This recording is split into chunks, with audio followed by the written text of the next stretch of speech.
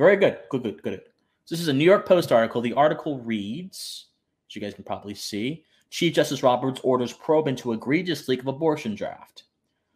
Chief Justice Roberts on Tuesday ordered an investigation into the unprecedented leak of a draft opinion suggesting the Supreme Court is poised to overturn the landmark 1973 Roe v. Wade case. Okay, we're going to skip uh, that, that, That's useless information. Oh, yeah. Roberts slammed the leak as an egregious breach, breach of trust in the High Court's first public comment since the draft opinion was published by Politico late Monday. Although the document, this is Robert's words, the document described in yesterday's report is authentic, it does not represent a decision by the court or the final position of any member on the issues in the case. Roberts is saying that for a reason, my friends. He's saying that because, well, actually, okay, it's foolish, actually, because he's correct. But he's not just saying it because he's correct. He's saying it because he's trying to tame fears. But the problem is this every single person who voted in the affirmative is a conservative justice. They are strong willed. And they are probably going to stick by the decision.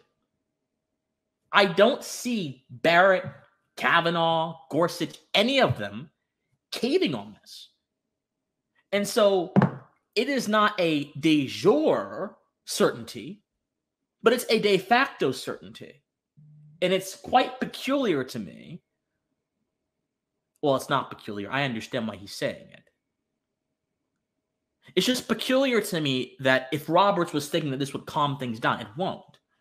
People know this is a de facto certainty. That's why you have Mayor Eric Adams saying, that he's going to make sure that abortions are are well provided for in New York City. That's why you have Amazon now offering to give their employees stipends if they want to go out and get an abortion. That's why you have Gavin Newsom saying "fight like hell" and I'll make my state an abortion refuge house. That's why you have the, gov- the, the, governor of Connecticut saying that he's going to do so. That's why you have Tom Wolf, Pennsylvania, saying that he's going to make sure Pennsylvania is a safe haven for abortions. That's why you have so many different governors and mayors and state officials and companies coming together to create the means to carry out an immoral act action because they understand it's a de facto reality.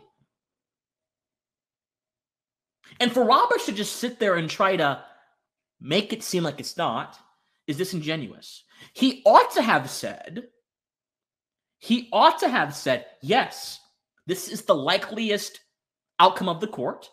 We will not bow to political pressure. And this and the sanctity of the institution shall be preserved, and it will not fall to the mob. He should have said that. he should have said this is an impartial body that does not kowtow to either political side, and anyone who has a problem with that is fundamentally ignorant of the first principles of our republic. He should have said that, but instead he was like, "Well, this doesn't reflect like the final opinion." Yes, it does. I bet you everything in my bank account right now, which is not a lot, but I bet you that that opinion is going to be virtually identical to the one that they eventually release and finalize. This is the problem. Man, let me not let me not Let's go on. He continues. To the extent this betrayal of the confidences of the court was intended to undermine the integrity of our operations, it will not succeed. The work of the court will not be affected in any way. Okay, again, you can't say that, that milk toast statement, when the antecedent to that statement was based in an attempt to pacify with misleading information. You can't mix oil and water, they don't go together. You either have a vial of water, a, a water or a vial of water. You don't mix them because when you do, problems happen. Bad things happen. If you mix them and you put them in a in a, in a, uh, in a skillet, they'll explode. And we're about to see an explosion of furor and passion and unintelligible rhetorical platitudes into the political conversation like we've never seen before. We've already seen it. And I'm going to show you. We've already seen it. We've already seen it with Warren. We've already seen it with Sanders. We've already seen it with Chuck Schumer. We've already seen it. It's already happening. Kamala, I have this on my phone. Kamala just made a speech not too long ago at 7 p.m. We started a little bit later. And we're going to watch a little bit of it. I'm going to find some of it. And I'm looking at this on my phone right now. Apparently, in the speech, Kamala said, How dare they? Women's rights in America are under attack. We're going to look at that speech. We're going to respond to it. These people are completely losing the point. They're completely missing the point. And Roberts deflecting, than trying to be strong and assert the court's independence is not going to help that. You are the Chief Justice of the Supreme Court. You ought to have the temerity to have a no holds barred, zealous defense of your institution, not a half witted, milk toast denial of the truth. And that's precisely what Roberts did. I'm getting mad, man. I, man. Let me calm down.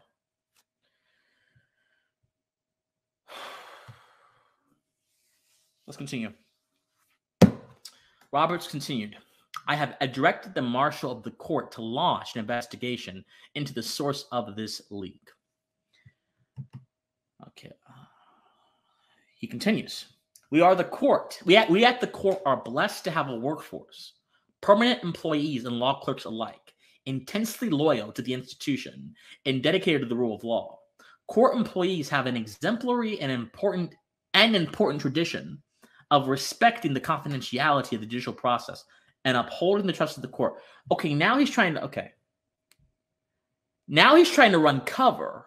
Okay. Okay. Proximity. Okay, write this down, guys. this is funny. No, it's, it's actually it's not funny. This is the complete and utter. He's black. He's getting a black eye to the institution right now. So he began his statement by saying, "Well, this is not the final opinion, so there's really not no need to worry." I'm paraphrasing. That's essentially what he meant. Then he said, "Well, we're not going to be influenced by this stuff." But the antecedent contradicts the statement. And we know from the laws of logic if your premise is wrong, your conclusion can't be wrong. If the headwaters of a river are tainted, that'll eventually go downstream and hit the rest of the stream. So he starts with a half-witted milk toast proclamation, which is not true. Then tries to defend the institution, the institution being that which is fundamentally based on truth, based on first principles but it has deviated in due time. Then he goes ahead and tries to defend those who work in the institution by appealing to history. Do you guys see what's happening here? If he was making an argument, I would say that he's moving the goalpost. He's not making an argument, so I cannot honestly say that in good faith. I wish I could because he's jumping around to a lot of different things which don't get to the core of the issue. The core of the issue is that this institution has been butchered and black eyed over the past 24 hours. And all he can offer are half witted mistruths, then a milk toast defense of the court's of the court's independence and then a defense of the tradition of honesty in the midst of lies and deceit. A tradition cannot make up for what is happening in the present. Traditions have to be weighed by how well they stand up to the test of time empirically. You can't make a statement like that and expect me to view these traditions in a damn vacuum because I can't do that. No person of good conscience can do that. And yet, Roberts, he is, man, Roberts is not at all. Our institutions are being ripped down right now. There were people yesterday saying, burn it down in front of the Supreme Court. There are Democratic governors, legislators saying that we're going to fight like hell when the court's just doing its job. And Roberts does not have the temerity to be a zealous defender of his own institution. This is sick, man.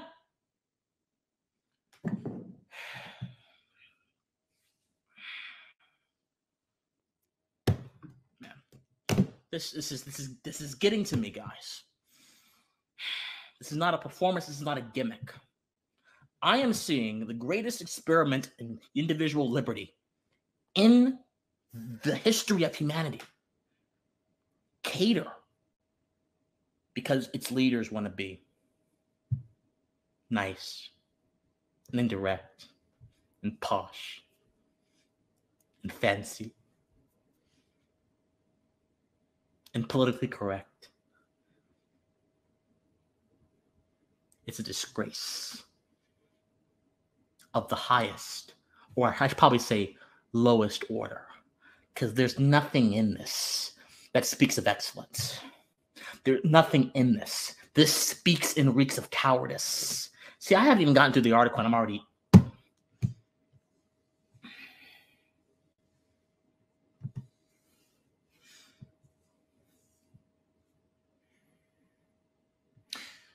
He continues This was a singular and egregious breach of that trust that is an affront to the court and the community of public servants who work here. Okay. But there's obviously a culture. This didn't happen in a damn vacuum. I'm not trying to curse guys, but it's just getting to me. This didn't happen in a vacuum. There's obviously a culture that preceded this. And I want to know in whose office was this culture fomented? I want to know how deep the rabbit hole goes, Mr. Roberts. That's what I want to know. How much does the cookie, cookie crumble? Excuse me. That's what I want to know. That's what I'm trying to figure out.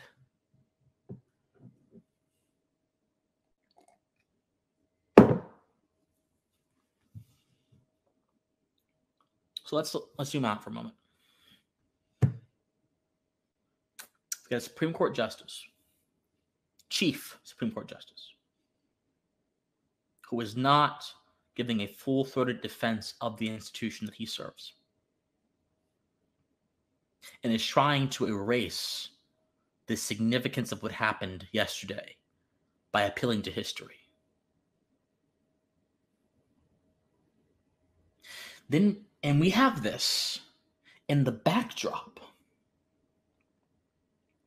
of a revolutionary youth color guard almost, who were outside of the Supreme Court yesterday yelling, if we don't get it, burn it down.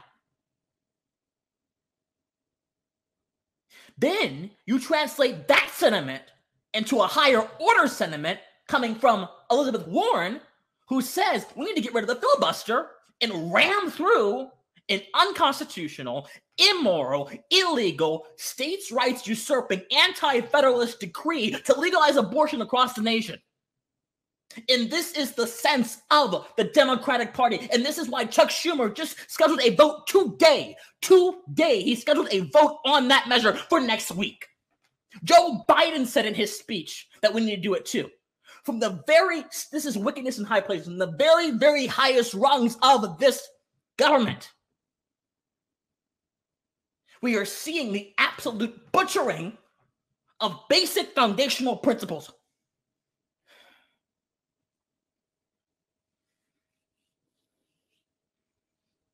If we don't get it, burn it down.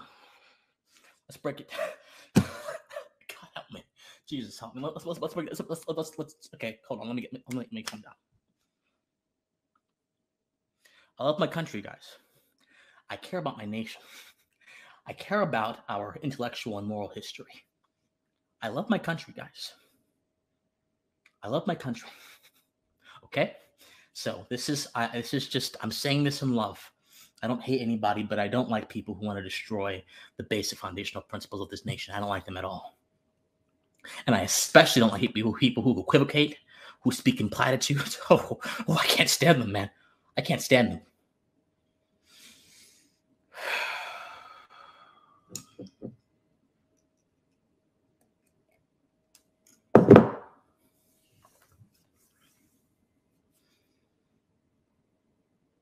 And so now you have congressional Democrats trying to blow up institutional buffers to their power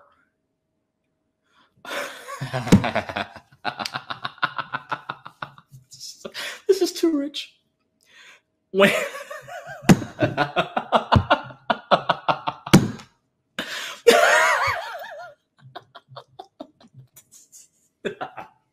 this is too much, guys. I'm sorry. I'm sorry. This is too damn much.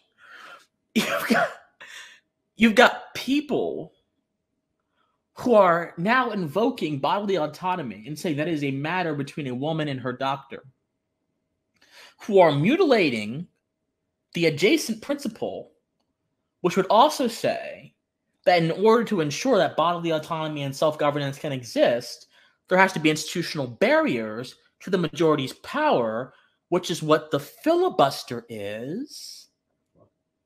And yet, they want to blow up the filibuster so the minority has no effective ability to fight back against the encroachments of a majority.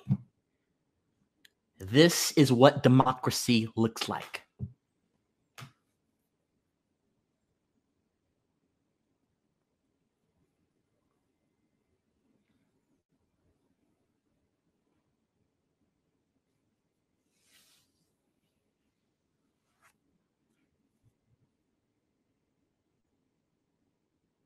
This is exactly what it looks like.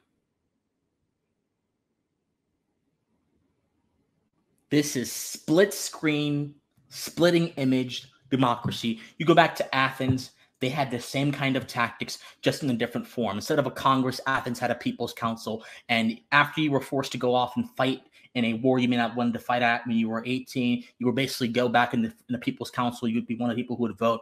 This is what democracy looks like. This is what democracy looks like. This is what democracy. Say it. This is what the, because they were chanting that crap yesterday. This is what democracy looks like. They're correct. Democracy looks like blowing up institutional barriers. Democracy looks like tyrannizing a minority by trying to force feed them your, your majority opinion. Democracy looks like completely and utterly shedding institutional protections for certain ideas. Democracy looks like a confusion and a rejection of first principles. Democracy looks like all that kind of stuff. Yes, this is what democracy looks like. This is what it looks like. It's a floating abstraction with no basis in reality. And when it, man, let me stop. All right, let's go to the chat. Let's go to the chat, guys. People are driving me nuts. Oh, Starson. Hey, thank you so much for, for, for, for, for joining, my dear friend. I'm sorry you got to see me this way. I'm a mess right now. I'm an absolute mess. I'm an absolute mess. Because my because my country is being ripped, ripped apart at the seams. You can't expect a majority opinion to have a consistent. No, I agree. I well, okay, hold on. I agree. I entirely agree with you. Totally. Majorities have a bad track record. Totally agree. Hundred percent. Hundred percent.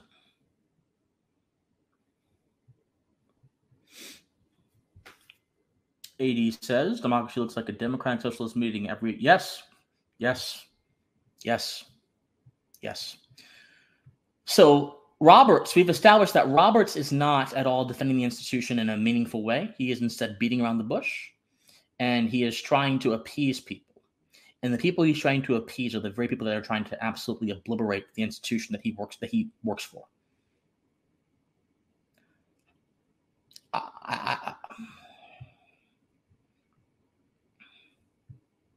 I don't get it.